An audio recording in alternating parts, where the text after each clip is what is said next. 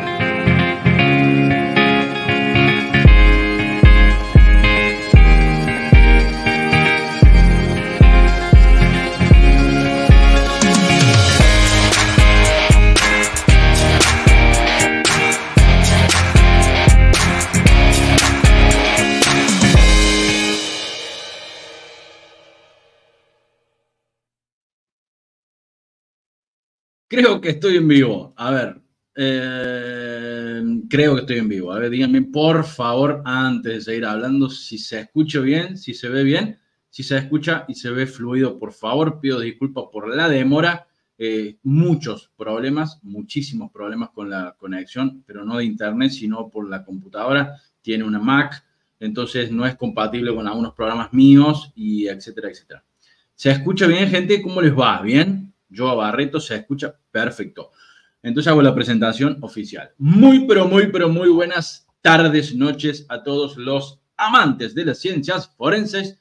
Bienvenidos otra vez más a otro eh, domingo de charlas gratuitas. Lo voy a hacer muy breve, muy breve, pero lo tengo justamente, tuve que hacer lo mismo que hice la otra vez con, eh, con Hernández, con, con Cárdenas, perdón, en donde tuve que tenerlo al disertante por Zoom y compartir pantalla y demás. Esto puede salir mal, como puede salir bien. Espero que salga bien. Eh, me presento para los que no me conocen, lo voy a hacer rapidito. Soy Juan Macaglieris, director del Centro Argentino de Capacitación Forense. Y para los que no saben de qué se trata esto, esta es una sección donde les ofrecemos eh, capacitaciones gratuitas y un poquitito, un poquitito de este mundo tan hermoso que son las ciencias forenses. Eh, rápidamente, para los que están, esas son las redes sociales. Sí, lo que yo les voy a pedir es que me sigan en Instagram, que es la red social que más activo estoy. Y para tener en cuenta, si quieren comentar algo y no los deja, o no les deja en realidad, es porque se tienen que suscribir para poder escribir comentarios y hacer lo, que quieran hacer, ¿no? Si quieren preguntar o lo que sea, sí les voy a pedir difusión, vayan por todos lados, suban la fotito, saquen una foto, ahora el disertante va a aparecer, yo voy a tener que hacer una, no sé, como una especie de moderador muy híbrido entre aplicación y aplicación. Eh, así que bueno, gente, eh, lo que sí les voy a pedir es eso, paciencia, porque voy a estar entre dos plataformas diferentes y no va a ser nada cómodo para mí, así que les pido paciencia. Como siempre, eh, suceden cositas y, bueno, esta vez también volvimos de nuevo a tener problemitas de conexión, pero bueno, es lo que, lo que hay. Es totalmente gratuito, gente. ¿sí? Es totalmente gratuito. Nadie les va a pedir que paguen absolutamente nada. Pero aquella persona que quiera certificado lo puede obtener. ¿sí? Es opcional, no hay, problema. El, que quiera tener un certificado, el que quiera, obviamente, eh, para su colección o para presentar, para lo que sea, lo puede obtener. Me habla por privado, no hay ningún problema. Eh, a ver, vamos a arrancar. Lo voy a, lo voy a traer al disertante. Esperen que voy a presentar esto, para, también tengo que compartir yo porque está desde el celular. Eh, hemos tenido que hacer un, un lío bastante importante. Eh, así que les voy a ir pidiendo a los que son rápidos, siempre me contestan, por favor, que me, me vayan diciendo si se escucha bien lo, lo, de él, ¿sí? Porque eso es muy importante. Bueno, vamos a compartir pantalla. La otra mano, por favor, que se haga todo bien. Compartir pantalla. Eh, ventana. A ver. Mm, para compartir, compartir una pestaña o una pantalla. Bueno, vamos con toda la pantalla. Sí, quiero compartir. Vamos a compartir toda la pantalla.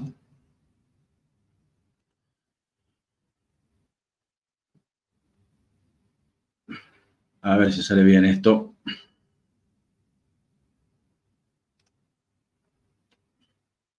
Aro, ¿cómo estás? Ah, ahora estamos acá, ahí volví.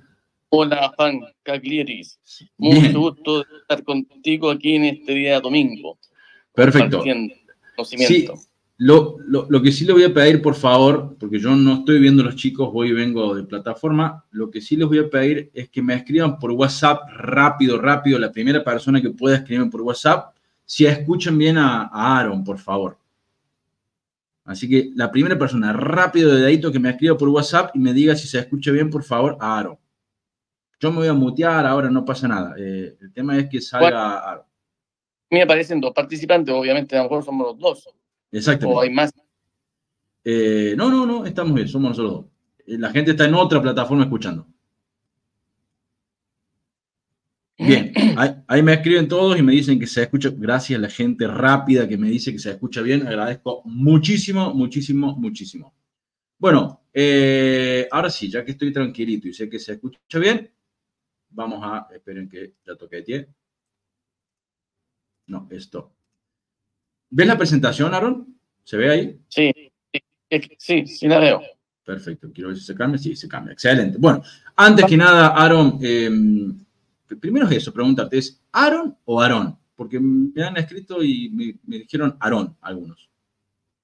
Bueno, es que depende del país, porque muchos dicen Aarón, otro Aarón. Bien.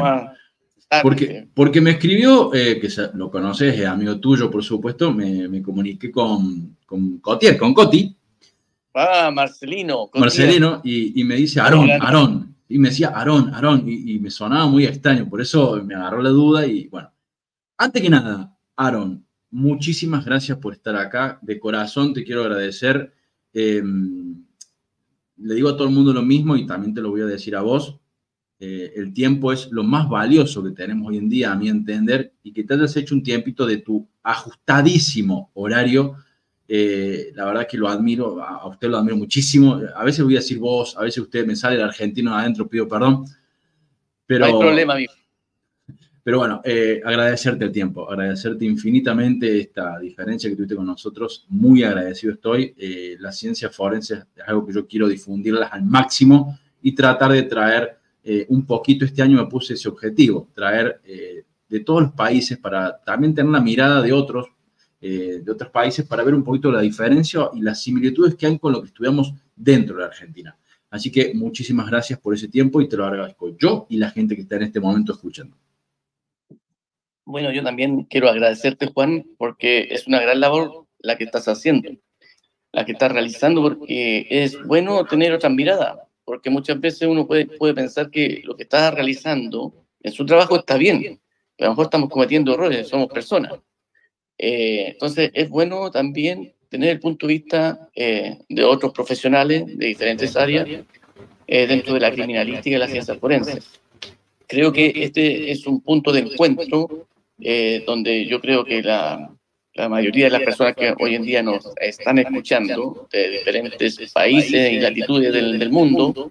Eh, tengo gente, bueno, y aprovecho al tiro de enviar un saludo a, las asociaciones y fundaciones eh, que están en Facebook eh, ayudando a las personas que están pasando por momentos difíciles cuando se extravía un ser querido. una gran labor que hay que desempeñar esas personas y que también creo que hay muchos de ellos que están presentes en esta, en esta tarde, escuchando eh, esta presentación de entomología forense que vamos a comenzar luego, y les pido también disculpas por la tardanza, pero hubo un problema técnico ahí con, con el sistema computacional.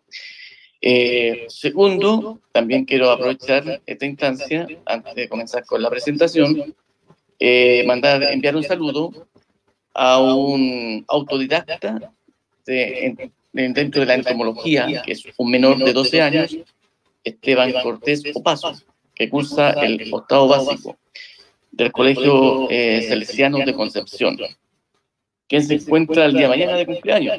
Así que espero que lo pase bien junto a sus padres.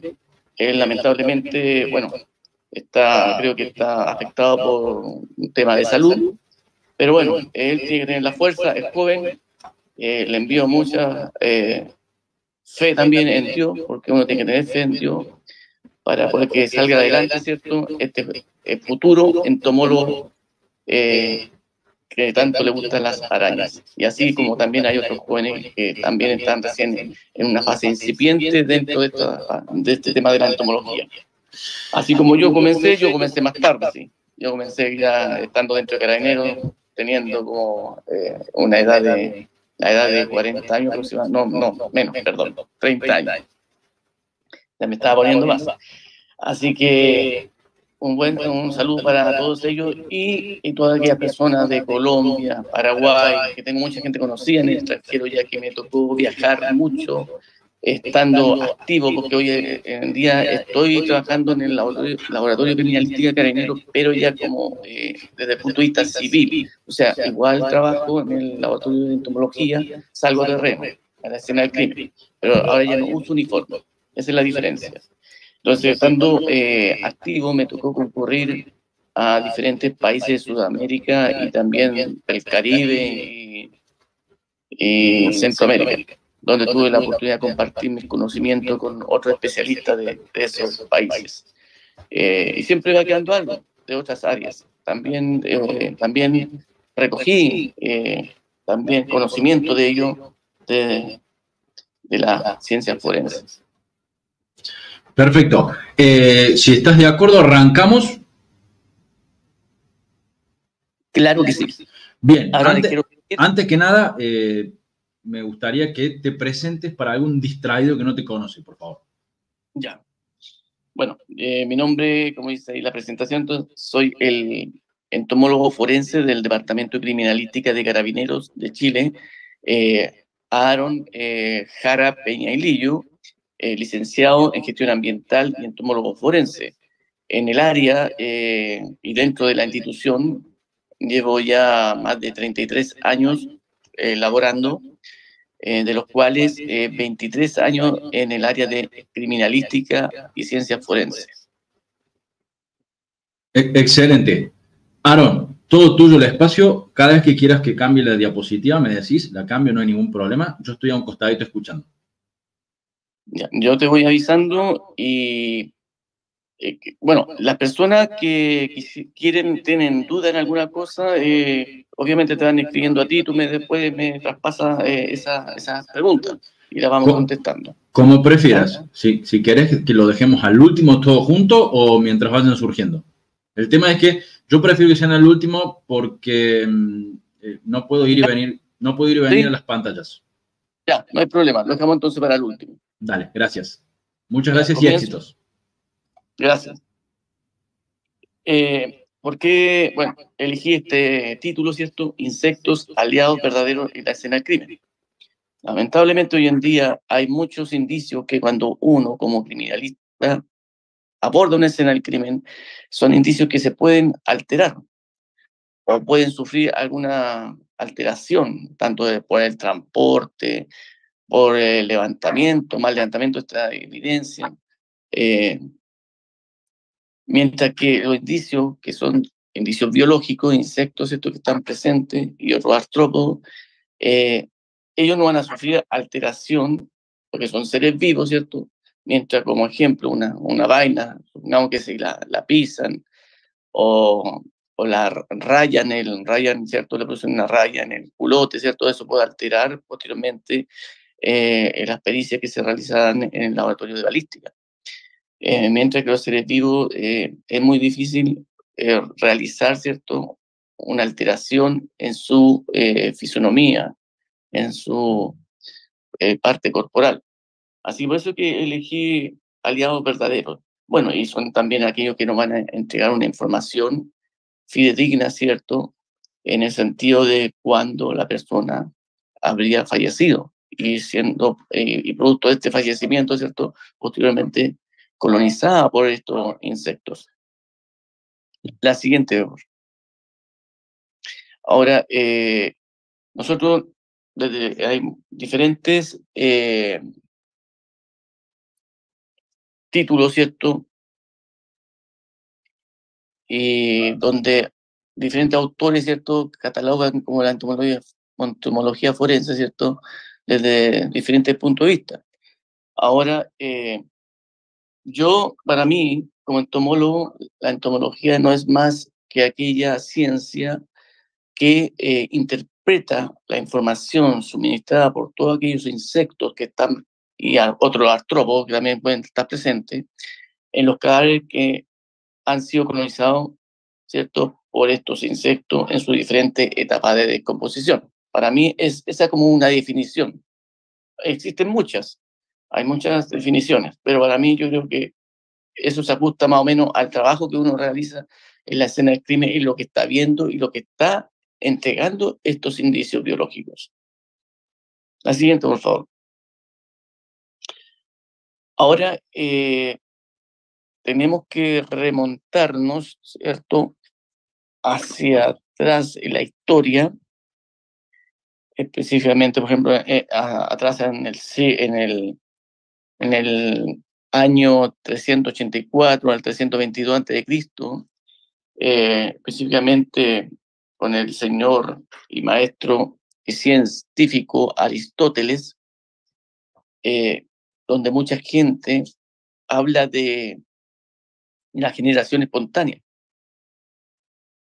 ¿Por qué quiero hablar un poco de este tema? Como para, para ir comprendiendo cómo cómo en el tiempo hay, se han ido produciendo modificaciones y la ciencia ha ido avanzando, tanto en conocimiento y, obviamente eh, y en tecnología.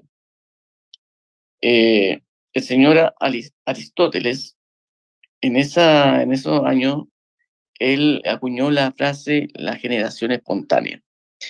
La generación espontánea que muchos hoy en día a mí me ha tocado ver en personas cuando han ido al laboratorio a conocerlo y hemos estado conversando, profesionales y personas de todo tipo, donde ellos todavía creen que eh, los gusanos son generados por nuestro cuerpo, que eh, nacen y se generan desde el interior de nuestro cuerpo y salen a la superficie.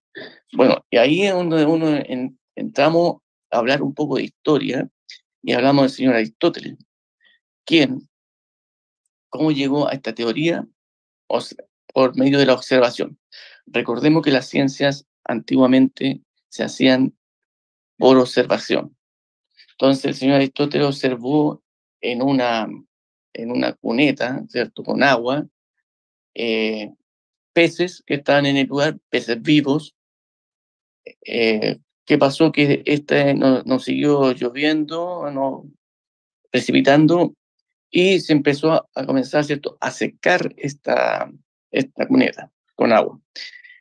Eh, al secarse, obviamente, ya los peces no están en su ambiente, en su hábitat, y por ende murieron. Al morir, ¿cierto? Ya desaparecieron esos peces, pasó un tiempo que solamente quedó el fango. Aristóteles vio nuevamente que quedó el fango después de que se secó esta, esta cuneta. Eh, luego comenzó nuevamente a llover y esta comenzó a adquirir y a llenarse de agua, el mismo nivel que tenía anteriormente. Entonces, después de un tiempo comenzó a observar que aparecieron nuevamente peces. Entonces él dijo, claro, ¿de dónde provienen estos peces? Si ya están todos muertos. Entonces él asume que nacieron y se, se crearon, ¿cierto?, desde ese fango. Entonces de ahí dice que la materia inerte es capaz de crear vida. De ahí viene, ¿cierto?, esa frase de la generación espontánea. Posteriormente hay un médico llamado Francisco Redi, en el siglo XVII, médico científico, eh, nacionalidad italiano, quien dice, no, no la, vida no puede generarse de, la nada. Entonces él que lo que hace un experimento, yo creo que muchos que están escuchando a lo mejor lo hicieron cuando estuvieron en el colegio, eh, ¿Qué hizo él para poder demostrar a las demás personas que el señor Aristóteles, ¿cierto?, estaba equivocado. Colocó dos frascos de vidrio e introdujo dentro de estos trozos de carne. Estos frascos de vidrio, eh, uno de ellos lo tapó y el otro lo dejó abierto. Por el olor que empezó a emanar de este sustrato, comenzaron a llegar moscas e ingresaron algunas al interior del frasco que estaba abierto, obviamente, pero no pudieron ingresar al que estaba cerrado. Se produjo ahí todo el proceso, ¿cierto? Se colocó los huevos, la mujer depositó su huevo ahí en ese sustrato alimenticio. Esos huevos se transformaron en larvas, esas larvas se alimentaron, posteriormente pasaron a estado de pupa. Y de ahí, luego entre la pupa, se produjo la metamorfosis, saliendo un ímago o un adulto en este caso una mosca. Entonces, él dice, bueno, aquí se generó vida en este frasco abierto, pero lo mismo no sucedió en el frasco cerrado. Solamente seguía el trozo de carne solo y no se generó vida. Entonces, ahí el señor Francisco Rey da a conocer, ¿cierto?, que la vida se genera de otro ser vivo. Y para seguir avanzando en la historia, ya llegamos a una etapa ya más contemporánea y, y también vamos a hablar también del primer caso que ocurre donde se interviene la entomología forense. Eh, hoy en día muchos van a estar de acuerdo conmigo que son eh, peritos en diferentes áreas o son criminalistas.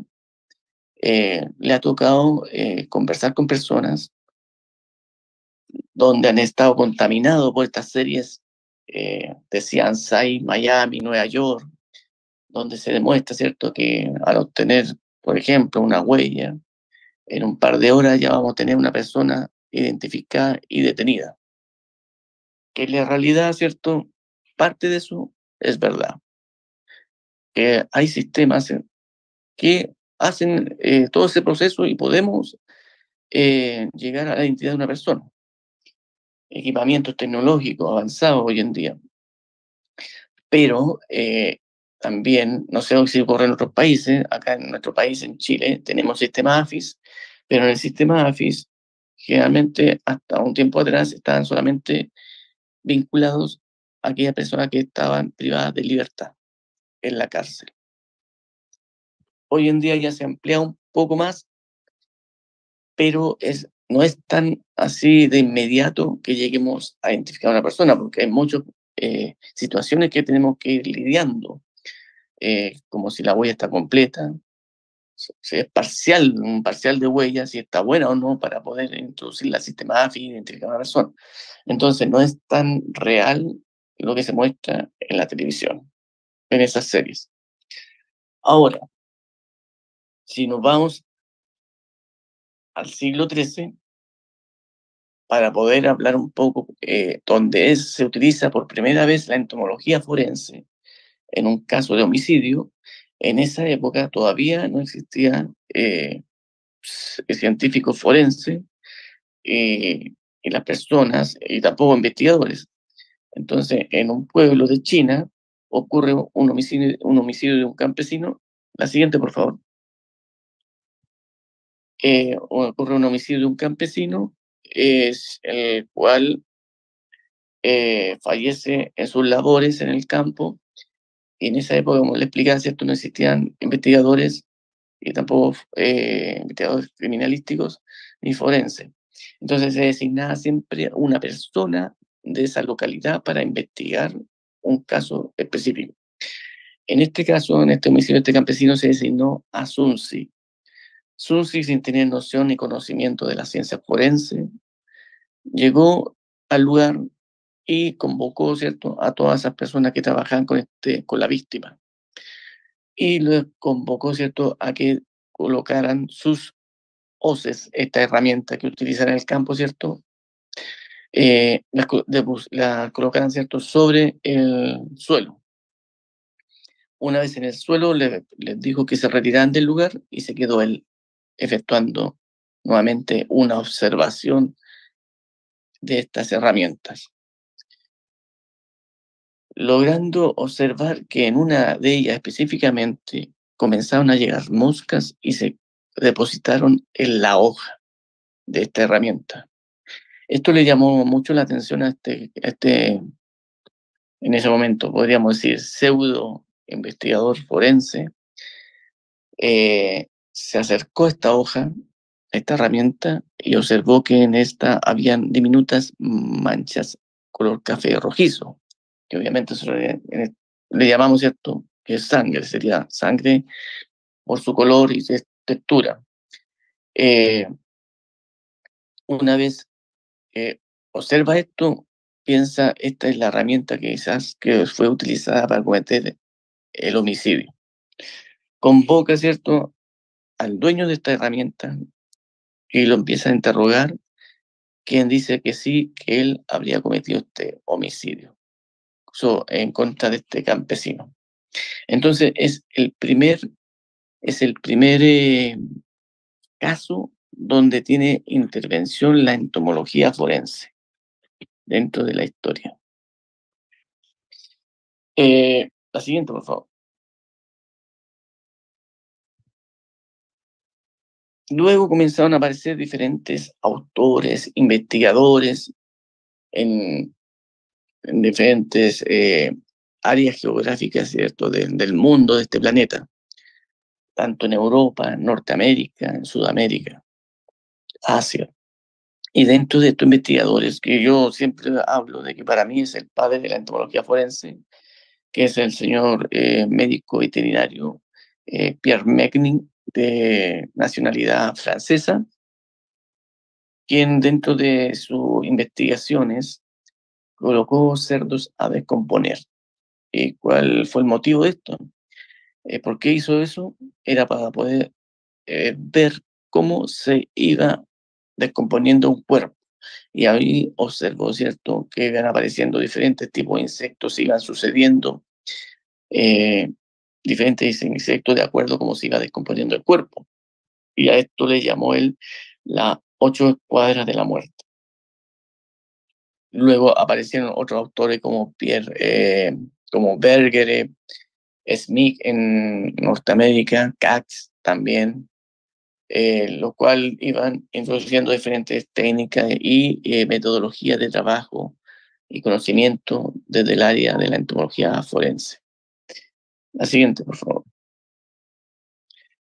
Luego llegamos al año, eh, a la década del 80, donde aparece un, un nuevo investigador, un arqueólogo, eh, quien trabaja en la Universidad de Tennessee, quien comenzó, ¿cierto?, a buscar eh, nuevas formas porque él observaba que los cuerpos presentaban diferentes eh, tipos de composición de acuerdo al área geográfica. Entonces eh, solicitó a la Universidad de Tennessee que le cediera un terreno que tenía, que era de propiedad de la universidad, para él crear una granja de cadáveres. Yo creo que en, esa, en ese tiempo era una locura hablar de una granja de cadáveres. Hoy en día ya no es una locura porque ya hay muchos países que ya han asumido, ¿cierto?, esta metodología de trabajo que eh, utilizó en su momento William Bass.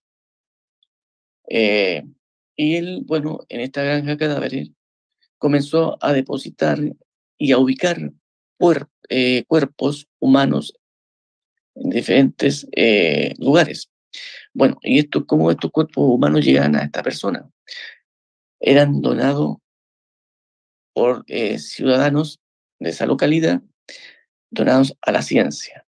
Ellos firmaban una declaración en vida donde una vez que fallecieran, ellos donaban su cuerpo a la ciencia. Entonces, cuando falleció una persona, él iba a buscarla a la morgue, a este cuerpo, este cadáver, y lo trasladaba a esta granja de cadáveres. En esta granja de cadáveres lo iba depositando y situando en diferentes hábitats, tanto acuático como terrestre el interior, eh, interior del agua, parte de su cuerpo en el agua, otros colgados, otros en el interior de un vehículo, otros enterrados, semi-enterrados. Eh, a otros se incineraban, se quemaban para ver cómo se comportaba la decomposición. Y esto es muy bueno para todo lo que científico que nos gusta esta área. Eh, obviamente sin generar el morbo, sino que desde un punto de vista forense, desde un punto de vista científico. Eh, porque así es la única forma que podemos, podamos comprender, ¿cierto? Cuando tengamos la oportunidad de llegar a una escena del crimen y encontramos un cuerpo en un estado de composición que nos puede llamar la atención. Entonces, toda esta información y conocimiento que él iba eh, obteniendo de toda esta comportamiento de estos cuerpos de composición, él iba realizando diferentes publicaciones científicas. Incluso hoy en día ya él es asesor del FBI en casos importantes. Bueno, y posteriormente, ¿cierto? Hasta el día de hoy, otras personas, otros científicos siguieron su camino, como le explicaba anteriormente, eh, eh, científicos de, Holanda, de Australia y el último Canadá, que también crearon su granja cadáver. Porque hay que comprender y entender de que los cuerpos se van a comportar en forma distinta de acuerdo al área geográfica donde se encuentren. No es lo mismo que un cuerpo se descomponga o sea depositado en el desierto a otro que esté en una zona boscosa o en, en un lugar donde hace mucho frío, como acá en Chile, ¿cierto? Tenemos la zona austral, Punta Arenas. Entonces son diferentes formas de descomposición y por ende son distintos los insectos que van a llegar al cuerpo a colonizarlo. Va a haber un comportamiento diferente. Todo eso uno tiene que estudiarlo para el momento que no, no llegue, ¿cierto? Cuando nos toque arribar a una escena del crimen en estas áreas geográficas. Son diferentes formas de descomposición, tanto en la zona central, intermedia, como en la cordillera, como en la costa. Y para eso hay que hacer investigación. La que sigue, por favor. Como ya sabemos, ¿cierto? Como hemos ido a poco avanzando y hablando de cuerpos, porque el cuerpo va conjuntamente de la mano con, los, con la fauna carroñera.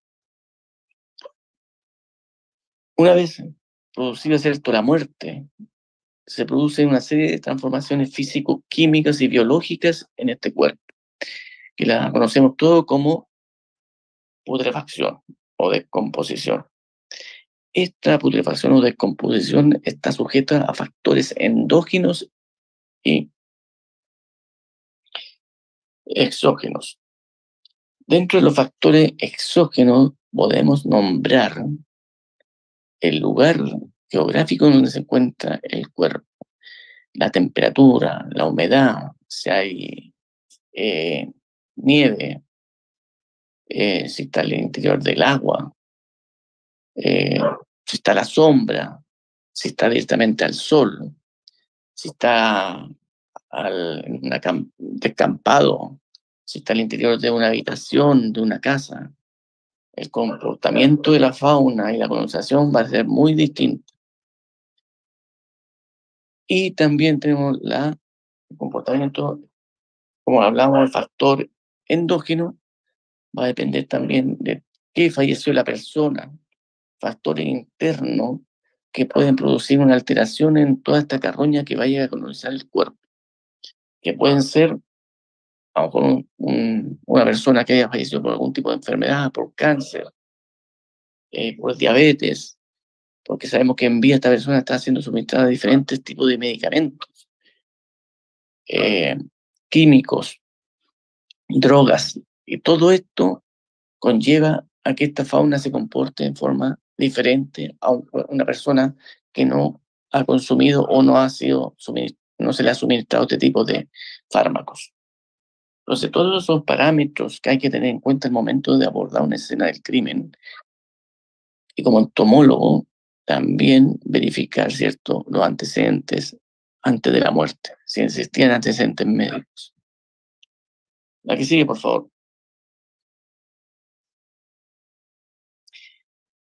Eh, bueno, ahora como ya estamos entrando en tierra derecha, como diríamos, eh, aquí ya estamos hablando de la virtud que tiene este, estos indicios biológicos dentro de una investigación criminal.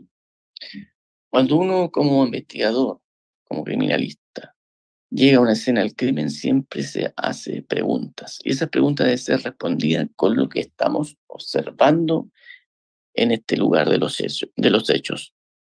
Y preguntas como cuáles cuándo murió, de qué murió, si habrá fallecido en el lugar, habrá intervención de terceras personas. Son preguntas que deben ser respondidas por los indicios que encontremos en el lugar. En este caso, con la fauna sarcosaprófaga o fauna entomológica, como quieran llamarla.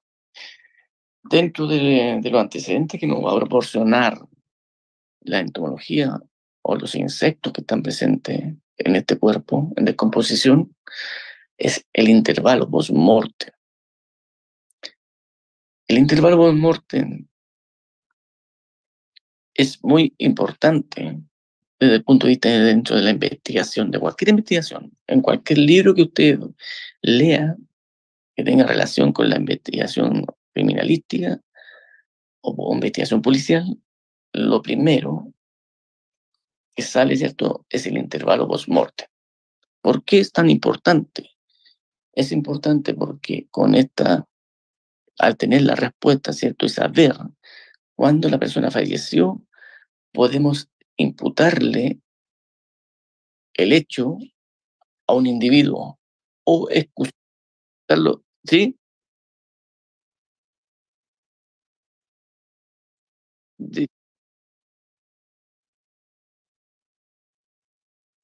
Ya, listo. ¿Ya?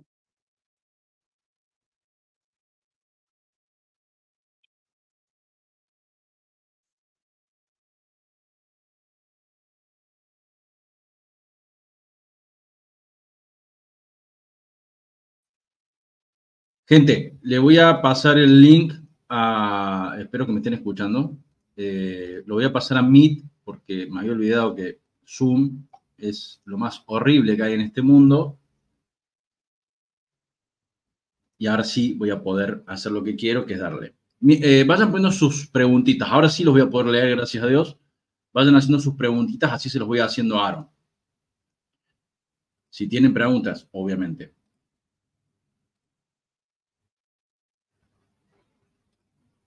Gracias a Dios, puedo usar Meet ahora. Eh, y sí le voy a decir a esa persona a esta que tenga paciencia. ¿sí? Si no tiene paciencia, se puede ir a otro lado, no hay ningún problema, pero por favor, tratemos de ser menos intensos. Y hay que tener paciencia porque no es fácil tampoco lo que estamos haciendo, que es tratar de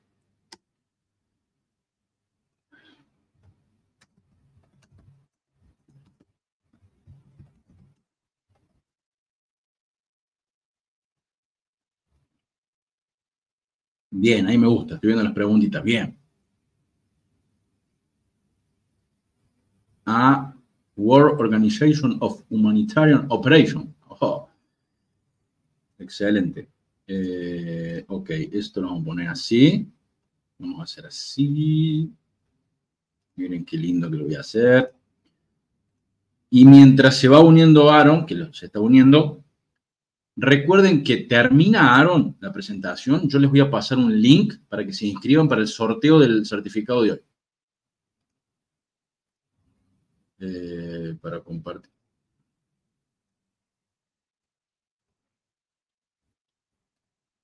Ah. Ahí estamos, Aaron. A ver, ahí estoy compartiendo pantallita.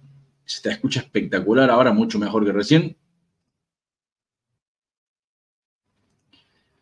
Eh, sí, sí, porque Zoom siempre tiene esos problemitas. Pero bueno, ahí, ahí comparto pantalla, rápido, rápido, rápido.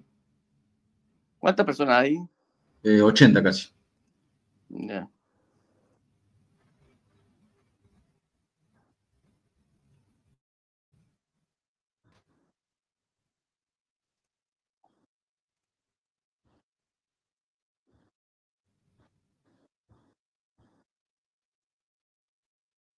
Ahí estamos. Yo me, me, salgo, espérame.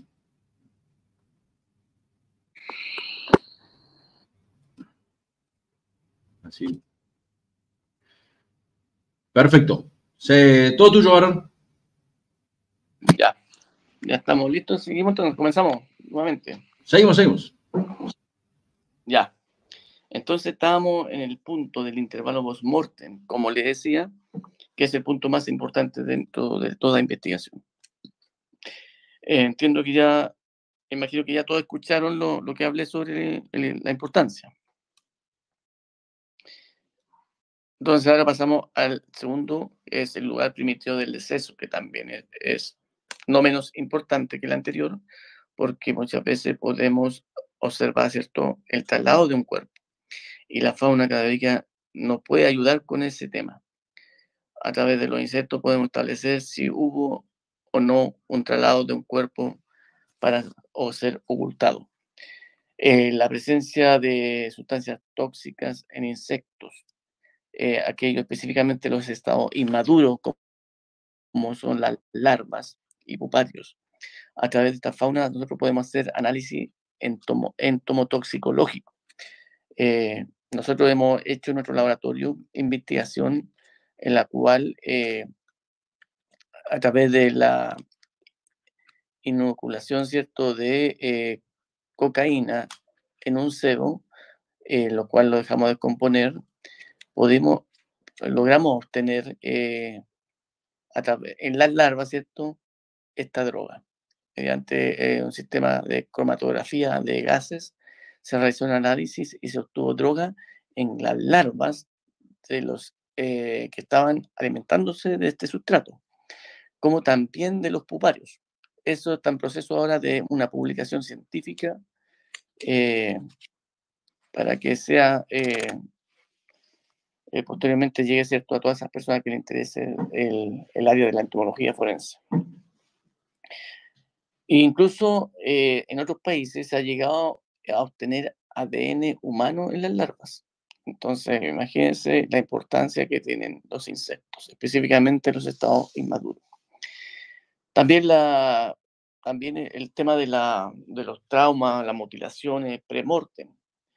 Lamentablemente hoy en día eso ha ido en aumento en aquellos casos donde ha existido el homicidio y posterior descuartizamiento o desmembramiento, ¿cierto? De alguna parte del cuerpo de la víctima. A través de la fauna cadavérica podemos determinar, ¿cierto?, el tiempo transcurrido desde la muerte. Mientras que, obviamente, un médico, eh, sin desmerecer su trabajo, cuando un cuerpo está descuartizado, es muy difícil determinar el intervalo post-mortem. Pero para eso está la entomología forense. El abandono anciano y de menores. Ahí tenemos casos específicamente ya más ligados al punto de vista eh, judicial civil, o incluso, bueno, hoy en día también lo puede llevar lo que son la fiscalía, el tema del abandono anciano. Como ejemplo, si un anciano eh, está en un hogar, en una casa de acogida de estas personas, que hoy en día están existiendo mucho, porque acá en Chile, eh, lamentablemente, la, la, la, población está envejeciendo eh, y hay menos jóvenes y más adultos mayores. Y por eso han ido apareciendo eh, más casas de acogida de ancianos.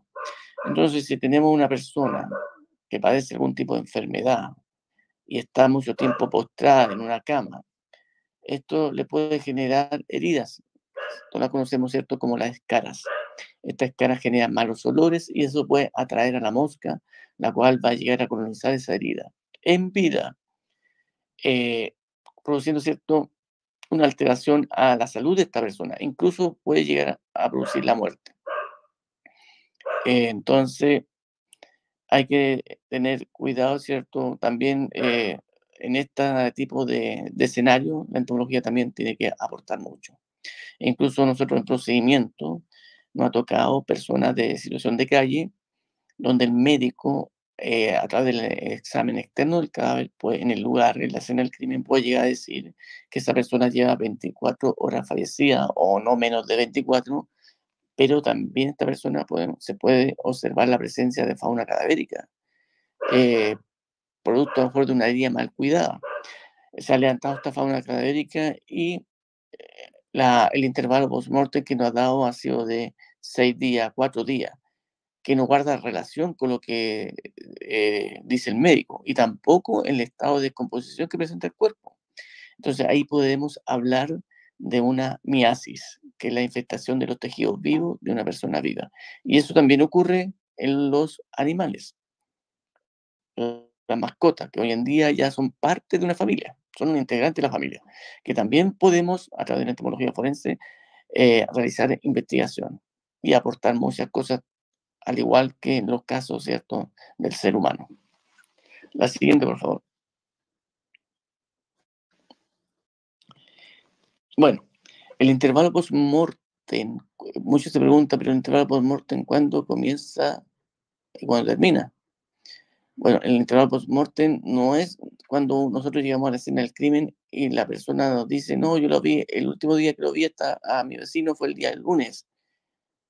No, eh, no es de ahí, no es de cuando la persona fue vista por última vez con vida, sino a través del análisis de la entomofauna cadavérica que se va a levantar de este cuerpo, que este análisis que se va a realizar en el laboratorio de entomología forense eh, se va a llegar a establecer, ¿cierto? Del momento que se levantó y se fijó esa evidencia, se va, de acuerdo a su desarrollo, se va a retroceder en el tiempo y vamos a decir, esta persona lleva tanto tiempo fallecida. Ese es desde el momento que el insecto tiene contacto con el cadáver y es colonizado. De ahí comienza el reloj biológico a, a marchar. La siguiente, por favor. Bueno, eh, me imagino que a lo mejor muchos, no sé si tendrán o han tenido contacto con, con, la, con la fauna cadavérica, con los estados inmaduros. Aquí, bueno, tenía un video, eh, obviamente a ustedes no lo van a poder ver porque, bueno, no sé si, bueno, ahí lo voy a decir a Juan que si lo, lo puede pinchar y ver si se funciona. Ese. Pero todavía no, todavía no, todavía no. Stop, stop, por favor. Eh, bueno, la mosca llega a colonizar un cuerpo depositando sus huevos. Dependiendo la especie de mosca, puede depositar entre 100 y 150 huevos, otra especie puede depositar, eh, dentro de la literatura se dice entre 400, 500 eh, huevos, pero todo esto va a depender del tipo de mosca, de la especie de mosca. Esto, esta mosca va a depositar sus huevos en el sustrato alimenticio eh, y pasado un tiempo, ese huevo, ¿cierto? Adentro del embrión se va a formar la larva. Eh, y una vez que ya cumpla su fase, ¿cierto? De, de desarrollo, este, esta larva va a eclosionar. Y bueno, ahora sí puedes colocar el video, Juan. Y ese, como aparece, ¿cierto? En el video, ahí está el video, ¿cierto? Si quieres le coloca eh, sin ruido porque tiene un ruido de fondo, porque ahí lo está grabando desde la lupa estereoscópica. Entonces ahí podemos observar cómo se mueve la larva eh, estadio 1 cuando está emergiendo del huevo, cuando este huevo ya ha eclosionado, ¿cierto? Y empieza a emerger. Eh, y de pasar de un estado, de un estadio a otro estadio, eso va a depender siempre de la temperatura a la cual está siendo sometido el insecto. Porque para que la oviposición ocurra en un sustrato, hay tres características que debe cumplir, o tres condiciones que debe cumplir ¿cierto? este sustrato. Que, es que sea apropiado, ¿cierto? que tenga temperatura, la humedad y el nutriente. Eh, porque obviamente la larva necesita alimentarse para poder pasar de un estadio a otro estadio y poder llegar a ser adulto más en el futuro. Entonces, estos huevos van a ser depositados en el cuerpo, en específicamente el orificio naturales, donde existe, ¿cierto?, esas condiciones, la humedad y la temperatura. Hablo de orificios naturales, la nariz, boca, oído, región genitonal y alguna herida si es que existiese. La siguiente. Como le explicaba, ¿cierto? La siguiente. La siguiente. Como le explicaba, ¿cierto? Ya una vez que la, obviamente se produce, cuando la larva va, va mudando, porque es igual que, no igual, pero es como un ejemplo, es como nosotros, el ser humano, eh, vamos naciendo con un tipo de talla de una S, vamos creciendo y vamos cambiando a una M y posteriormente algunos a una L. Lo mismo sucede en la larva. Así como va desarrollándose, va alimentándose, va creciendo y eso necesita ella mudar, cambiar cutícula. Hasta cuando llega a un estadio donde ella deja de alimentarse, pasa a un estado inmóvil. Que ese estado inmóvil posteriormente se transforma en una pupa. Y al interior de esa pupa se produce la metamorfosis. Como la siguiente, por favor. Como se ve en el siguiente cuadro, ¿cierto?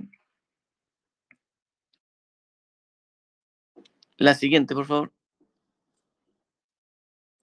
Como se ve, ¿cierto? En esta siguiente diapositiva, donde se observa ahí el ciclo de la de vida, ¿cierto?, de una mosca. La mosca llega al cadáver, deposita su huevo, esos huevos después posteriormente eclosionan, eh, pasa por tres instancias larvales, luego pasa a un estado de pupa, y ese estado de pupa al interior se produce la metamorfosis, como pues, no sé si lo logran ver al interior de la pupa, que es la que, una cafecita, que al interior se ve una mosca, se ve la cabeza, el tórax y el abdomen. Posteriormente, una vez que ella cumple su ciclo al interior, emerge el imago o el adulto. Entonces, todo eso nos va a llevar, ¿cierto?, a nosotros poder, esta herramienta nos vaya a poder determinar un intervalo post-mortem. Aparte de este tiempo de desarrollo, también tenemos que tener en cuenta el, la cantidad de especies que colonizan el cadáver, que también es importante. La siguiente, por favor. Bueno, también tenemos, nosotros como entomólogos, tenemos el deber de saber un poco y tener conocimiento de cómo funciona la descomposición en los cuerpos. No somos médicos y tampoco queremos, vamos a pretender ser médicos, pero sí tenemos que tener ese conocimiento, porque cuando yo veo un cuerpo en descomposición, yo tengo que saber decir, pues, eh, poder evaluar y decir, bueno, este, este, este estado de composición que presenta este cuerpo debería tener este tipo de insectos. ¿Están esos insectos presentes o no? Si no están presentes, algo alteró este ciclo. Algo pasó aquí. Ese, por eso que uno debe también entender cómo se produce la descomposición en el cuerpo humano. El primer periodo es un periodo cromático. Cromático viene de color. En este periodo se caracteriza por que la persona pierde ese color cuando uno, uno está en vida, ¿cierto? Tiene un rosado, un color más vivo. Ahí ya tiene una vez la persona, ya es un pálido. Pierde ese color. Eh, se van produciendo, ¿cierto? Aquí el médico tiene, dentro de las 24, 36 horas tiene todas las herramientas para llegar a determinar un intervalo post-mortem antes que se instale la descomposición en este cuerpo. ¿Y cuáles son esas esa herramientas? Eh, tenemos, ¿cierto? Que son las livideces, la rigidez, la temperatura, la deshidratación y la rigidez cadavérica también, eh, y posteriormente, y al último, cuando se empieza a instalar la putrefacción en este cuerpo, se instala una mancha, ¿cierto?, en la fosa ilíaca derecha. Cuando vemos esa mancha, que dice que ya se instaló la putrefacción eh, en el intestino delgado, donde ahí se generan todos los gérmenes, bacterias que posteriormente se van a trasladar a diferentes partes del cuerpo mediante la red venosa. Eh, cuando ya está eso instalado, ya estamos pasando a la otra fase, que sería la fase del periodo enfisematoso. La siguiente, por favor. También hay que tener en cuenta o saber que estas, estos periodos o estas fases se superponen, no tienen límite fijo. Entonces, cuando ya pasamos a un periodo enfisematoso, estamos hablando que el interior del cuerpo, ¿se acuerdan que en una de las diapositivas hablábamos que se producían transformaciones físico-químicas? Bueno, aquí están. Entonces se producen gases al interior del cuerpo, lo cual van a producir que este cadáver empiece a aumentar de volumen, del, del abdomen, del escroto en el hombre, de las mamas en la mujer, del rostro, también de la cara, se protruye la lengua, incluso algunas, en los globos oculares también. Eh, e incluso en esta etapa, cuando llegan, ¿cierto?, a la morgue, eh, cuando los, sus seres queridos los van a reconocer, mm, son irreconocibles, porque se desfiguran. No son la misma persona que ellos conocieron en vida. Entonces ahí estamos en una etapa enfisematosa. Y aquí también se producen las bulas serohemáticas, las cuales tienen líquidos trasudados, ¿cierto?, al interior de ellos, o las ampollas que algunos no conocen. Eh, y ahí pasamos a la siguiente, al siguiente periodo, siguiente fase, que es la colicuativa. En esta fase, quiero hacer presente que yo quise colocar estos dibujos porque obviamente yo no sé eh, quiénes son las personas que están presentes, pueden haber menores. Eh, entonces, no quise poner obviamente eh, fotografías de cadáveres porque uno también tiene que tener una ética profesional y ser cuidadoso con la información y con lo que se está mostrando. Más bien cuando son por las redes sociales. La idea es que se aprenda el trabajo que realiza un entomólogo. Eh, por eso que aquí voy a abordar algunas cosas, no todo, obviamente. Eh, por eso es una charla para que conozcan un poco cómo desde la historia, un poco de la entomología, eh, algunas herramientas que uno utiliza como entomólogo, no todas, algunas herramientas las, las voy a, estoy enunciando acá. Eh, bueno, volvamos al tema, ¿cierto? Tenemos el periodo colicuativo, ¿cierto? En este periodo vamos a reconocerlo porque ya el cadáver eh, ya no está los gases, pierde ese volumen, los cuales esos gases se transforman en líquido y esos líquidos trasudado, ¿cierto? De color negruzco, eh, van a estar en, todo el contorno del cadáver.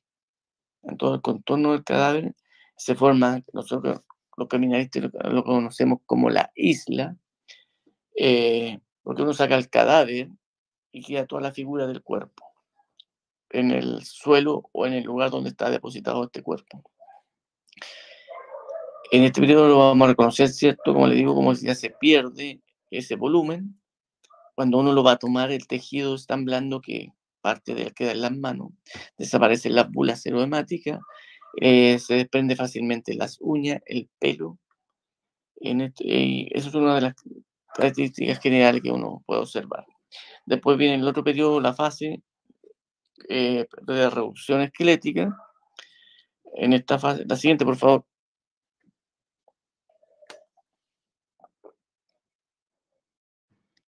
En esta fase, eh, ya cuando nosotros vemos que el tejido blando comienza a desaparecer y podemos observar eh, los restos óseos eh, o el hueso de, la víctima, estamos en presencia de ya de la fase de reducción esquelética. Y esto es todo producto de, lo, de, la, de los insectos carroñeros.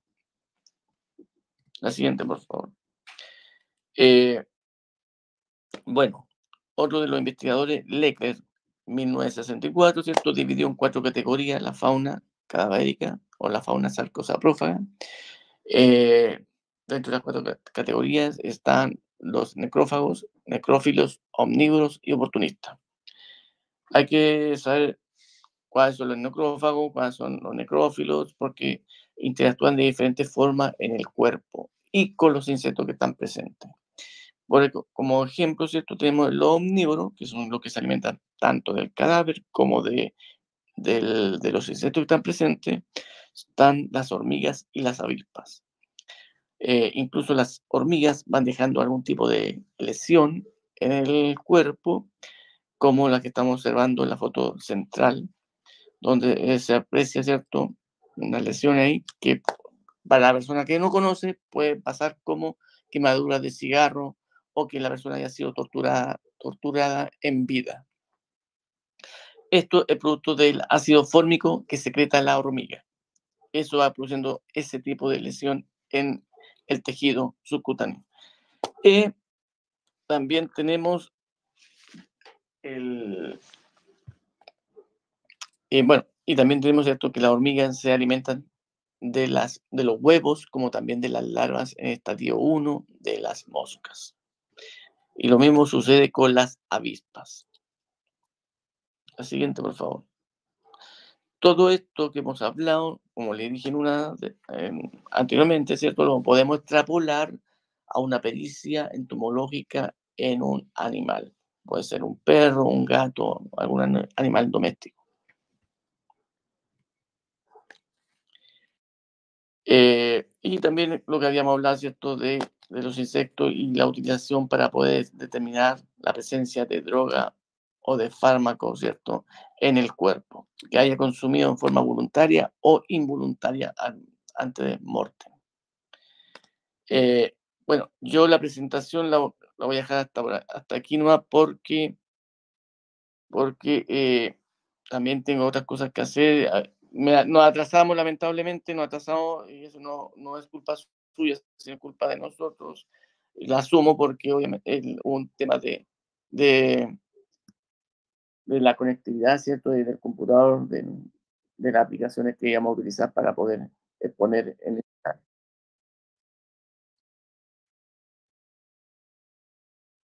Claro, Era un caso que traía eh, donde se utilizó la entomología forense y donde incluso hay un, imputado.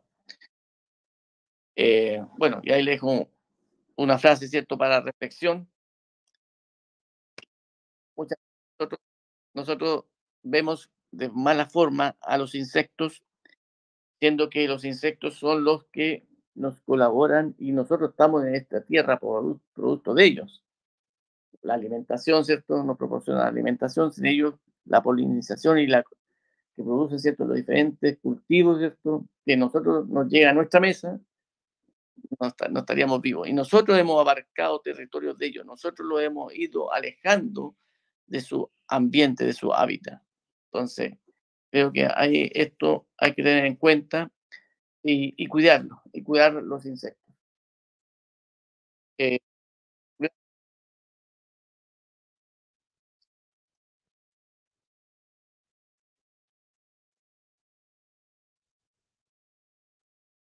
No, pero eh, no, pero si hay alguna consulta, dejo unos cinco minutitos si es que hay alguien que quiere consultar.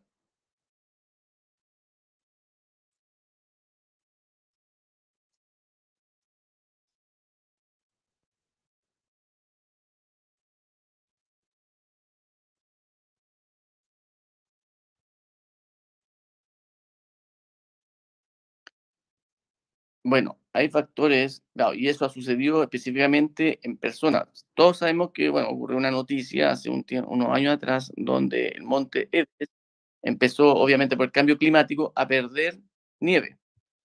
Se empezó a descongelar. Y con eso comenzaron a aparecer cuerpos que estaban extraviados, que habían desaparecido y estaban en esa zona. Todos ellos estaban conservados, obviamente conservados porque estaban a baja temperatura. Sabemos, ¿cierto?, que al estar en un cuerpo a baja temperatura se conserva. O sea, son fácilmente reconocibles, tanto por la vestimenta y por algunas características. En ese caso, obviamente, al, al aumentar la temperatura, se va a activar todo lo que es la fauna interna microbiana, ¿cierto?, que está al interior del cuerpo y se va a comenzar a producir la descomposición paulatinamente al aumentar la temperatura. Recordemos que existiendo temperatura y humedad, eso es un factor importante para que llegue la... Sí, em, perfecto. Y me queda una preguntita de Maximiliano que dice, eh, me queda la intriga por saber el caso de consumo de droga. Espero una próxima reunión con ansia. Dice, muchas gracias. Eh, si, querés eh, hacer la definición de, la, de, esa parte de la entomología. Bueno, eh, lo que más sucede que muchas oportunidades, eh, cuando se realiza, encontramos un cuerpo que está en un estado muy avanzado de descomposición, es muy difícil determinar la presencia de droga en el cuerpo debido a la descomposición, ¿cierto?, de todos aquellos órganos que se utiliza para hacer la, eh, dentro de la autopsia, ¿cierto?, los análisis toxicológicos. Entonces se pierde esa información mientras, que esa información la puede obtener. O la podemos obtener desde los insectos que están, o la fauna cadérica que está presente en el cuerpo, porque ellos ah, se han alimentado de este cuerpo cuando estaban en un estado no tan avanzado.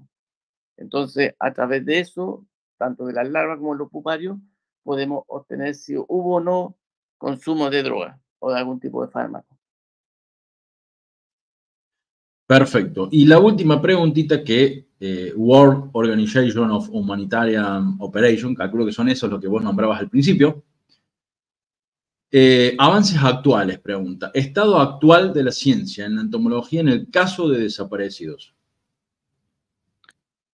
Bueno, yo siempre he dicho, eh, dentro de los equipos especializados, cuando se aborda una escena del crimen de una persona que está desaparecida, y hablamos de desaparecido cuando generalmente aparecen cuerpos en estado avanzado de composición. Entonces, debe, debe estar presente un entomólogo forense. No solamente los peritos, que son los fotógrafos, planimetristas, el investigador, sino que debe ir con ello el entomólogo forense, porque el entomólogo tiene una visión más amplia del entorno, del ecosistema donde está el cuerpo. No es solamente de los, los insectos que están presentes, ¿cierto? En el cuerpo, sino de todo su entorno, mientras que los criminalistas solamente se enfocan en el cuerpo. si hay intervención de terceras personas, eh, si hay algún tipo de, evidencia, tanto de, huella, calzado, ¿cierto? Sangre, mientras el entomólogo eh, tiene una mirada más holística del entorno. Porque uno tiene que, eh, como entomólogo, tiene que comprender por qué este tipo de fauna está presente y no la otra. por qué el cuerpo está en un estado avanzado de composición y existía una fauna más incipiente. Entonces, eso se tiene que responder y para, para ello tenemos que estar en terreno. Y ahí nos vamos a dar cuenta por qué sucedió este asunto. Ahora, los entomólogos en la ciencia eh, siempre se está haciendo investigación, siempre. Incluso hay un artículo que hace poco no lo tenía de, y dentro de ahí pues, abarca el tema de la, de la droga. Eh, consume droga tanto en forma legal, eh, donde hay que tener en cuenta cuando una persona fallece por algún tipo de enfermedad. Porque todo ese consumo de droga eh, que se le aplica, ¿cierto? Obviamente por la enfermedad, eso va a afectar a la fauna, tanto la fauna carroñera como la fauna eh, existente en el suelo, si es que la persona falleció en, algún descampado. ¿ah? Va a, alterar el microhábitat, ¿cierto?, que existe en ese suelo, producto de las drogas, de los líquidos que van compuestos, ¿cierto?, con, con este tipo de drogas. Perfecto. Eh, eh, lo más breve posible que puedas responder, así ya te libero, Aaron, por favor. Eh, Belu pregunta si, además de todas las muestras y análisis entomológicos que se deben recolectar, para tener en cuenta y establecer un intervalo post-mortem, si lo más importante sería la pupa. Va a depender, va a depender, ¿cierto?, de lo que vemos en la escena del crimen porque aquí todo lo que está presente es importante. Porque eh, obviamente, si tenemos un cuerpo en estado de descomposición muy avanzado y tenemos eh, fauna cadavérica eh, en estado de larvario y también pupa, es importante la pupa sobre los otros porque no indica que tiene un estado de desarrollo mayor ese, ese estadio, ese estado pupar. Eh, sobre los otros que son larvales. Sí, sí tiene importancia, pero también tenemos que tener, igual, levantar las larvas porque para ver qué tipo de insectos colonizaron, qué especie de insectos también siguieron colonizando ese cuerpo. Y con ello, eh, entender, ¿cierto? Con, de acuerdo a la cantidad de insectos, podemos saber eh, cuánto tiempo estuvo ese cuerpo en descomposición y a expensa de, de, de los insectos carroñeros. Perfecto. Y como siempre, cada vez que yo digo que nos vamos, eh, empiezan todas las preguntas de golpe. Así que solamente voy a hacer una más. Eh, ¿Cuál es la diferencia? Esta es la persona que vos mencionabas al principio de la charla. ¿Cuál es la diferencia entre una descomposición de avispas y hormigas? Una descomposición de avispas. Sí, calculo que quiere decir a... No, no, no, lo que pasa es que sucede que no. Eh, esos son insectos omnívoros, como le explicaba, ¿cierto? que ellos alimentan tanto del cadáver como de, la fauna que está en el cuerpo, de los insectos, en este caso de los estado inmaduros, de los huevos, de la, las larvas de moscas. Ellos pueden alterar el ciclo, ¿cierto?, que está presente en el cadáver, del tipo de insecto que está presente en el cadáver. Por eso hay que tener mucho cuidado cuando uno habla del intervalo post-mortem, eh, porque puede ser alterado por este tipo de insectos bueno, dentro de varias publicaciones, las avispas incluso se habla que puede llegar a, dejar en, reducción esquelética un cuerpo humano en un mes. O sea, porque la avispa, eh, me ha tocado observar y tengo videos donde la avispa saca trozos de carne. O sea, no es que como la larva que se alimenta del tejido, muy poco lo del tejido que va alimentándose, mientras la avispa saca eh, trozos de carne que... ¿Cualquier tipo de avispa o hay una específica? Eh, no, generalmente la avispa que conocemos en, en, el campo. Está la Véspula germánica, un, tipo de avispa que es invasora, que es introducida en nuestro país, al menos en Chile. Que algunos dicen que llegó por barco a Chile, otros le echan la culpa a nuestros hermanos argentinos, que porque entró por Argentina. La, famosa chaquetilla amarilla. Esa chaqueta amarilla, esa misma. Puede un cuerpo en un mes, imagínate. Sí, sí, eh, nos ha contado Vero la historia de la chaquetilla amarilla. Sí, sí, son, voraces, son voraces. Bien, perfecto. Lo vamos a dejar acá. Eh, ahora en un ratitito te voy a pasar tu certificado de ponencia, Aaron, eh, de la charla. Simplemente agradecerte, pido perdón por la demora, pido perdón por extender mucho más de lo que, de lo que, lo que se podía, así que pido perdón a mí me encanta esto eh, y siempre ha sido, el fin mío ha sido contribuir, ¿cierto?, a las personas que, específicamente las organizaciones que, están, o fundaciones, ¿cierto?, que están ayudando a esas personas que, han sufrido la pérdida de un ser querido o que están extraviados y lo andan buscando. Yo eh, siempre ha sido el interés de aportar y apoyar a ellos. Entonces, eh, yo no tengo ningún problema, mi número telefónico, tú te lo puedes dejar, mi correo, si tienen más dudas, me escriben, pero siempre ha sido aportar, porque nadie está libre de pasar por un hecho de este tipo. Nadie está libre hoy en día. Excelente. Muchísimas gracias, Aaron. Te despido. Muchas, muchas gracias. Un abrazo gigante desde la Argentina al país vecino nuestro. y bueno, un abrazo grande. Gracias, Juan. Que tengan todos buenas noches, que descansen. Adiós. Adiós.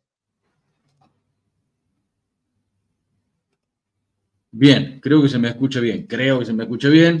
Ahí está, ya estamos normales, ya tenemos eh, lo de siempre, ¿sí? Ya tenemos la misma cantidad de ventanas.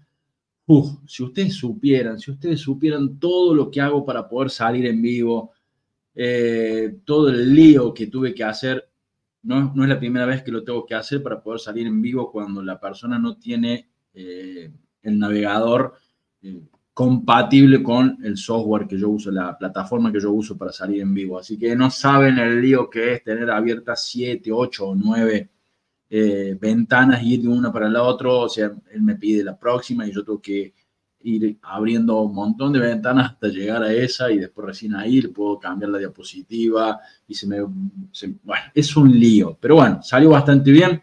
Lamentablemente nos quedaron unos 15 minutitos, que era la parte práctica de los casos que él iba a contar. Ahí decía una persona que si se podía tener power, no, no se va a tener power.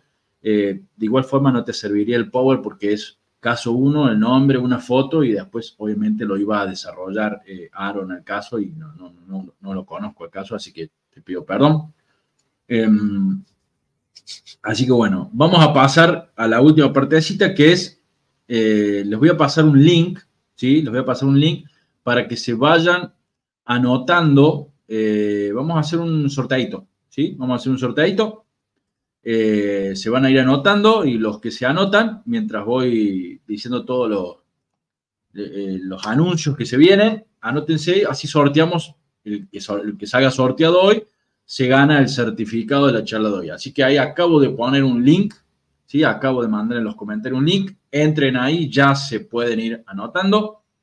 Eh, así que hacemos rapidito el sorteo y mientras voy contando un poquito. Bueno.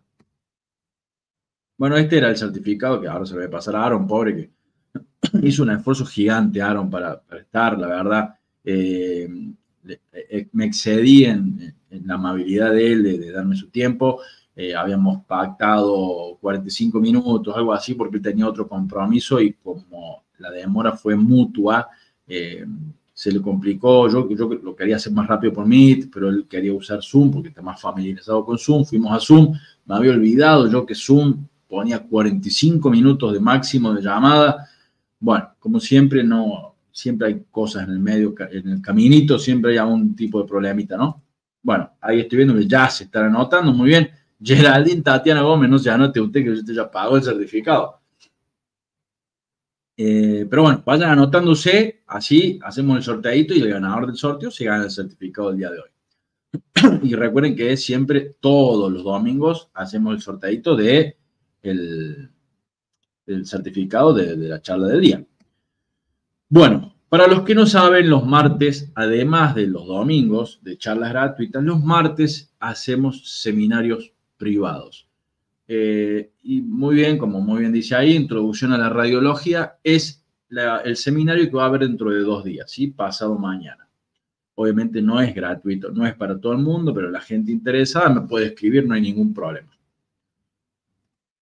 Bueno, y como ven, no puse la charla el domingo que viene. ¿Por qué? Porque yo ya les había contado que era anatomía o terminología o concepto anatómico, terminología anatómica, algo así, tecnicismo anatómico. Eh, es la charla de la próxima charla. Pero ayer la chica me escribió, me dijo, viajo, no puedo, se me surgió algo. Últimamente tengo muchísima mala suerte con los disertantes porque se les, se les pasa algo o les produce, algo pasa siempre que me llaman y me dicen no puedo, o más temprano o más tarde. No sé, se me está complicando mucho el tema de disertantes. Eh, tengo una racha de mucha mala suerte con, con temas disertantes. Pero bueno, eh, son cosas que surgen, ¿sí? No depende de mí, lamentablemente, pero bueno, Así que tengo que conseguir urgentemente a alguien para el domingo que viene, ¿sí? Porque tengo que hacer un enroque. Lo que iba a hacer el mes que viene. Y bueno, y después está el otro tema. Hay un montón de disertantes que habíamos coordinado que iban a hacer en abril y no contestan los mensajes. Yo no sé si soy la única persona que suena el celular y está atento al celular, ¿sí? Es algo que me, cuesta mucho entenderlo, pero calculo que soy solamente yo. El, tóxico que, que, está tan pendiente del celular. ¿sí? Yo sé que no está bien, pero bueno.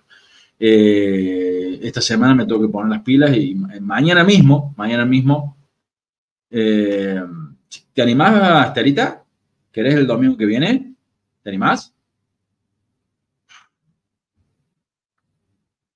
Siempre Estelita salvándome las papas, siempre Estelita. Qué gran dúo que somos salvando las papas. Siempre Estelita, gracias.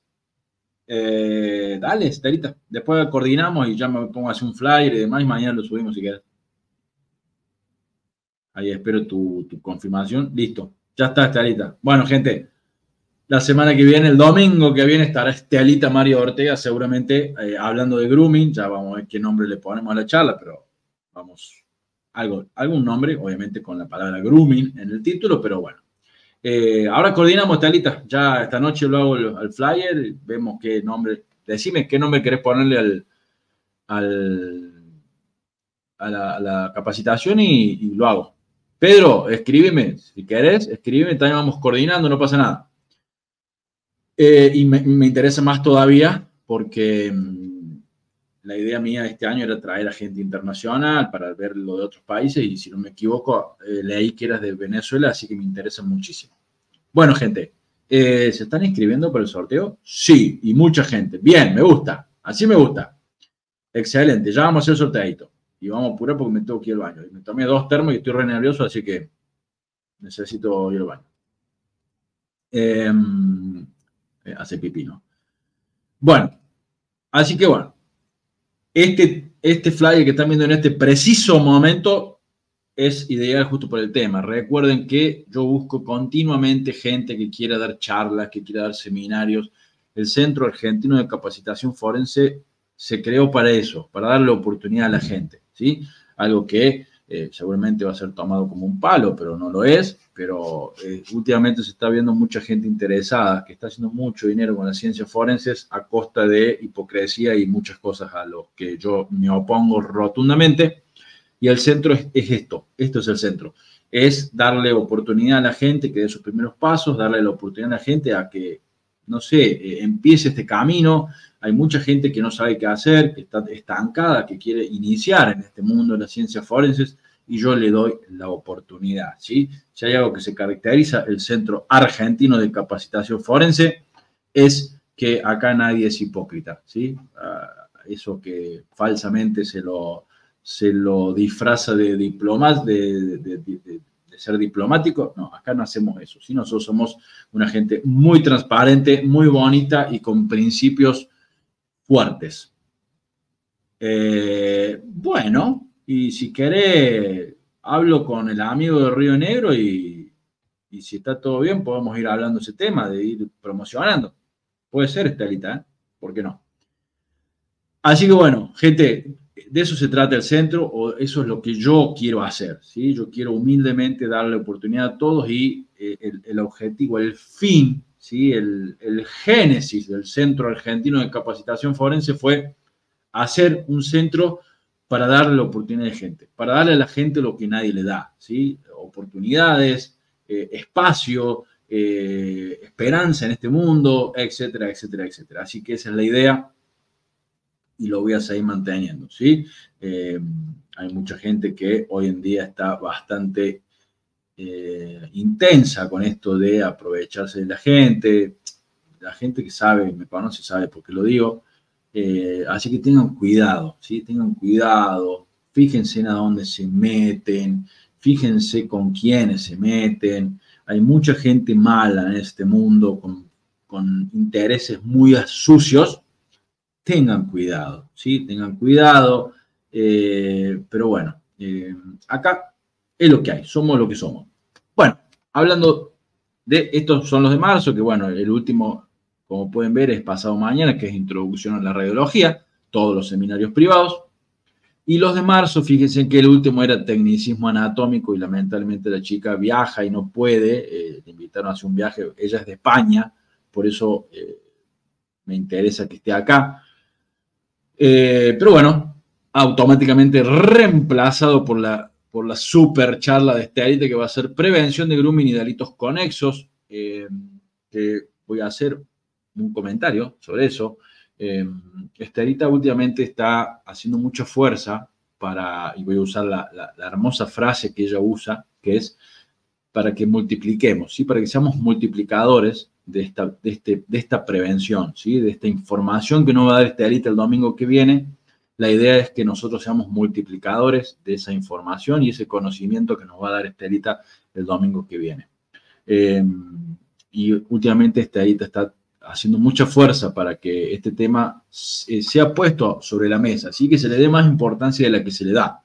La importancia de tener el conocimiento, de saber qué es el grooming y cómo prevenirlo o cómo hablarle a nuestros, a nuestros menores, ¿sí? niños, niñas y adolescentes, hijos, sobrinos, lo que sea. Eh, bueno, eh, ahí está mi teléfono, ahí está mi teléfono. El que quiera dar una charla, ahí está mi teléfono, bienvenido sea. La idea es eh, ofrecerle a la gente todas las semanas una charla nueva para que se pueda, obviamente, capacitar. Esa es la idea. Seminarios privados es aparte, es una cosa que la gente cobra y demás, pero lo que son charlas gratuitas, bienvenido sea todo el mundo que quiera. Eh, ahora me voy a poner en campaña más firmemente porque estuve un par de semanitas bastante... Eh, borrado, si se podría decir, por una cuestión de, cosas mías, propias, personales, así que ya me vuelvo de nuevo a poner intenso y a buscar y, hacia adelante, ¿no? Charlas hacia adelante. bueno, y así como las charlas gratuitas, los seminarios privados, todo eso la gente que tiene la membresía lo tiene incluido. ¿Qué es la membresía? La membresía es algo que yo creé hace ya mucho tiempo para la gente, para que abone cierto monto todos los meses y tenga incluido un montón de cosas.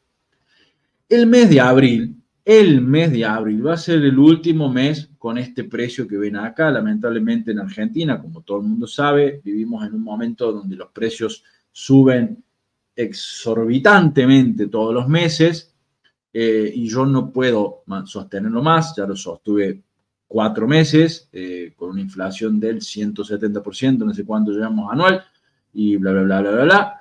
Así que bueno, lamentablemente no lo puedo sostener más. En mayo va a aumentar, así que aprovechen. Pero bueno, como siempre, yo cada vez que aumento trato de, eh, de equilibrarlo hacia el otro lado, ¿sí? Trato de solventar un poquito ese aumento con algún otro beneficio. Bueno, a partir de abril, los que tengan la membresía forense no solamente van a tener el acceso a todos los seminarios privados, más su certificado, todos los certificados de las charlas gratuitas, eh, acceso a la biblioteca virtual. Sí, en todas las charlas o seminarios tienen certificación. El que tiene la membresía tiene la certificación incluida de todo. Los que no lo tienen tienen que pedirlo aparte. Hoy, la, charla de hoy tiene certificado, pero para la gente que decía tenerlo. O sea, no es obligatoria abonar el certificado de hoy, no es obligatorio, no se sientan obligados a hacerlo, por favor. Pero la gente que sí lo quiere, lo puede obtener, no hay ningún problema. Eh, bueno, y además la biblioteca virtual, acceso a, los, a la biblioteca virtual. Yo tengo en un drive una carpetita de biblioteca virtual donde la gente que tiene la membresía me da sus mails yo les doy acceso y ahí tienen todos los libros, todo ordenadito en carpetitas. Les vamos a seguir cargando a, esa biblioteca, le vamos a seguir cargando libros y, bibliografía y demás que tenemos en un montón de carpetas, se la vamos a ir cargando. Así la gente entra a esa carpeta virtual y lo tiene todo separadito con categorías re bonito para más facilidad y comodidad al momento de buscar, ¿sí? Para que tengan todo tipo de información. Y además, a partir de eh, abril, ya hablé con ellos, ya está, ya, ya me dijeron que sí, no hay ningún problema. Los que tengan la membresía forense van a tener el 10% a partir de abril, el 10% de descuento eh, en los productos de una empresa que se llama División Forense, ¿sí? que son amigos míos, una parejita que son emprendedores y que hace un montón que están en el mercado. Eh, yo les dije que si podíamos hacer este tipo de acuerdo, tácito, porque no va a haber acuerdos escritos, de palabra solamente, porque somos gente buena que tenemos palabra, algunos no lo tienen, pero otros sí los tenemos, eh, y tenemos principios.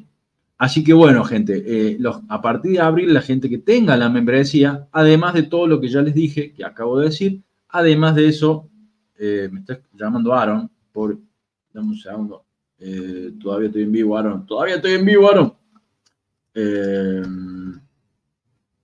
Dame un segundo. Un segundo que sigo, sigo en vivo.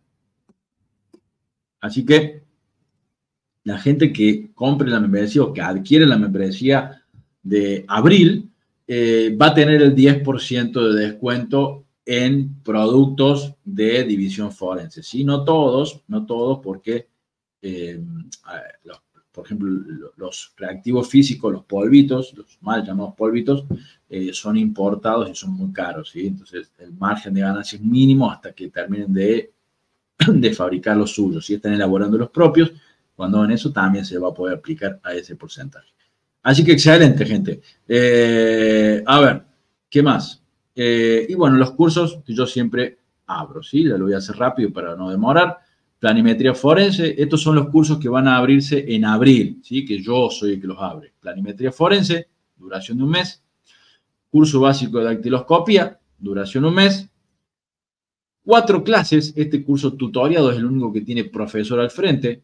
Curso tutoriado, identificación de armas de fuego y cartuchería, que arranca también en abril. Investigación pericial en casos reales, yo les enseño con expedientes reales, les enseño cómo hacer un informe, cómo investigar, cómo hacer infografía, cómo hacer un montón de cosas. Capacitación accidentológica en casos reales, le vamos a mostrar un siniestro vial real, un caso abierto que está en este momento está abierto, cómo se investiga, cómo se trata, cómo se tiene que hacer el informe, cómo se analiza. Así que todo eso y mucho más eh, en el Centro Argentino de Capacitación Forense. Bueno, vamos a dejarlo por acá. Ah, vamos a hacer el sorteito. Denme un segundo, vamos a hacer el sorteito. Que para eso tengo que venir acá y poner sorteo. Eh, a ver, vamos. Estoy re mareado, gente. No saben, tengo, no sé si eh, hay un temblor, no sé qué, pero me, me está moviendo, no sé, se me mueve todo. Eh, o se me está por bajar la presión, no tengo idea. Bueno, denme un segundo, ahí les pongo para que vean los ganadores o, a ver, compartir pantalla. Eh, sorteos, acá está. Bien. Denme un segundo, acá está. Esta es la listita de la, gente, de las personas que se pudieron o que tuvieron eh, tiempo y, se han podido anotar para el sorteito. ¿sí? Ahí están todos. Hay dos o tres ahí que yo les voy a tener que volver a, los voy a tener que volver a, mira vos, mira vos, la señorita de, de la aduana, volviendo el ruedo. Bienvenida, señorita.